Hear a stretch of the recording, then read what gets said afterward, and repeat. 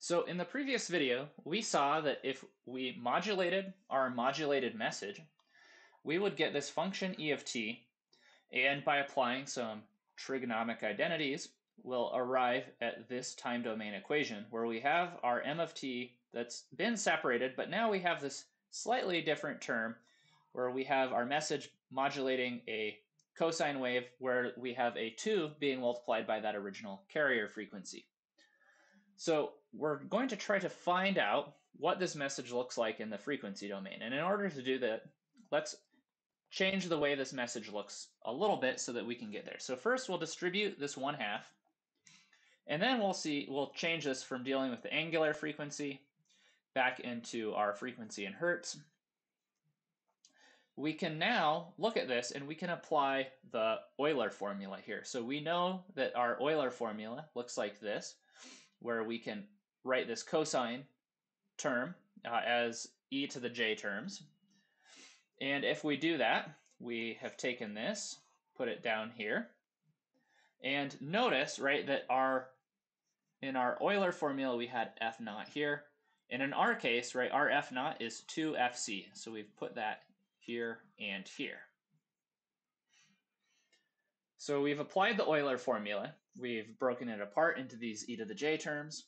Now we can multiply our message through, and these two 1 half terms come out to a quarter. Now we have our message multiplying these e to the j terms in two different places, one at 2fc and one at minus 2fc. Based on our frequency shifting property, we can see that this multiplying our message right? So multiplying a message here by this e to the j term here is the same as a frequency shifting property.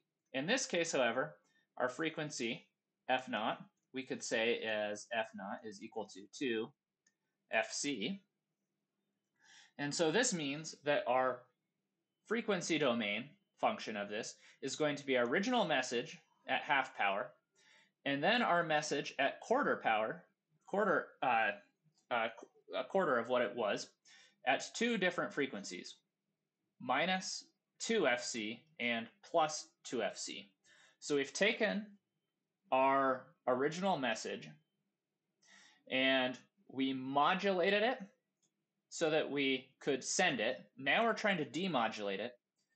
When we worked on the demodulation, we multiplied the modulated message by another cosine wave we applied some trigonomic identities. We applied the Euler identity and the frequency shifting property to see that this will result in a frequency domain uh, signal, which has the original message separated by itself, and then it has the same message that has been shifted once again, not just to FC, but to 2FC and to minus 2FC. So the effect of multiplying the modulated message by that cosine wave was to create this uh, terms where we have moved the message even further out in frequency to plus and minus 2 FC.